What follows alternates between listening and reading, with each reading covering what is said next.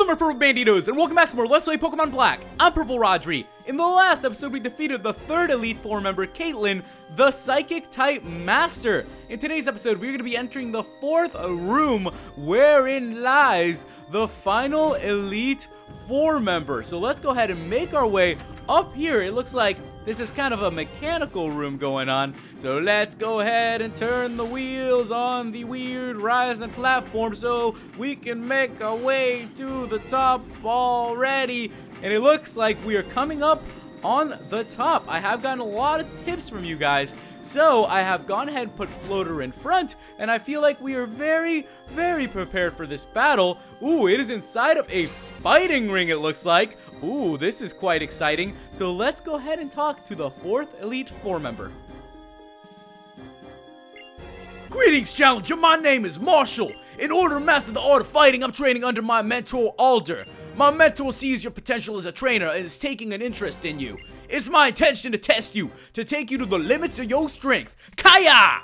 Here we go, Rodri versus Marshal, the fighting type master, the fourth and final Elite Four member of the Unova region. We are challenged by Elite Four Marshal, who has four Pokemon. Marshal's gonna send out Throh, and I'm gonna send out our Floater. It is time for our Unfezant to uh, make his way into this battle and see what it's all about. I'm going to go ahead and go for the fly. We should have the speed advantage in this battle, which is what I'm hoping uh, will help us throughout it, because I know that fighting type Pokemon are very strong, and our Pokemon aren't as effective on them as they could be. Our most effective Pokemon is Floater. Alright, Throh's going for the Stone Edge. We avoided the attack.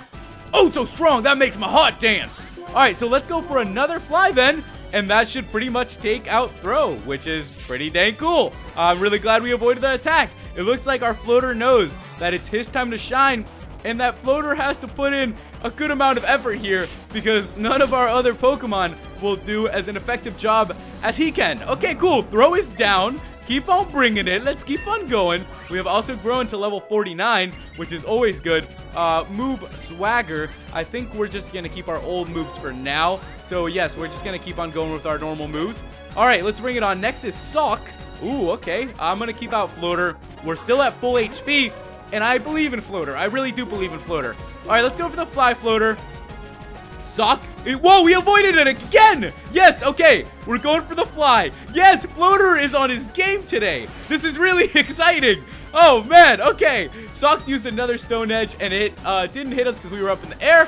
Floater used Fly. Awesome job, Floater. Keep it going. It's super effective. Oh, we are like right there. We are going to go for the quick attack. Marshal went for the full restore. Of course, Marshal would do that. Go for the full restore. But now we know that we can take off with a fly here, uh, which we might have, should have done. All right, let's go for the fly this time around. Ooh, wait! How do we, how do we keep avoiding that? Okay, there has to be something going on now because we've avoided about three of those stone edges. Uh, that, that's pretty freaking insane. Is Sawk down? Oh, wow, Sawk has fainted. Great job, Floater. We're rocking it right now. Next is Conkeldurr. I'm guessing it's a fighting type as well, so I'll just keep Floater going, and it looks like we have a good flow going here, so I'm just going to keep it going. Let's keep going for the Fly Floater. It's just working like a charm for us. I, I can't believe we're avoiding all those attacks, but you know what? I'm not complaining. Let's keep it going. I knew Marshal was going to be tough, uh, and Floater is doing a great job against Marshal's Pokemon right now. And awesome! Super effective, and it was a crit!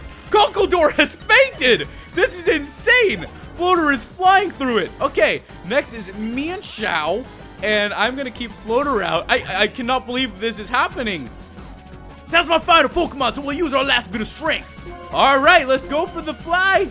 Oh, Mienshao is gonna go for the rock slide. That one's probably gonna hurt quite a bit. Come on, yes, hold on, Floater. Let's go up in the air, and we can do this. Everyone believe in Floater right now. Let's hope we can put in a big kick.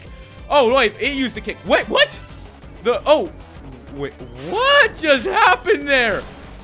Floater sweeped them! Floater sweeped the team! I can't believe this! That was absolutely amazing! Floater just swept Marshal! That was insane! Floater grew to level 50 as well, and we have defeated Elite Four Marshal! There is no single strongest Pokemon or sole best combination. That's why it's difficult to keep winning. However, I think a heart that desires strength and strives to grow stronger is a precious ideal. That's why I respect you, because you have these things. We got 6,000 for winning. Now, you have become the strongest trainer in this Pokemon League. The status in the Central Chamber will take you to the Champion's Room. We, the Elite Four of Unova, are sworn to follow the Champion's order, to be neutral, so the rest is up to you. Alright guys, so it looks like we have defeated Marshal, and now it is our time to make it back to the Central Chamber, where it looks like we will be entering uh, something even crazier than the rooms we have already been in. If you guys have any tips on what's coming up, let me know. Four Elite Four members down, no more to go. Thank you guys so much for watching, and I'll see you in the next episode. Goodbye.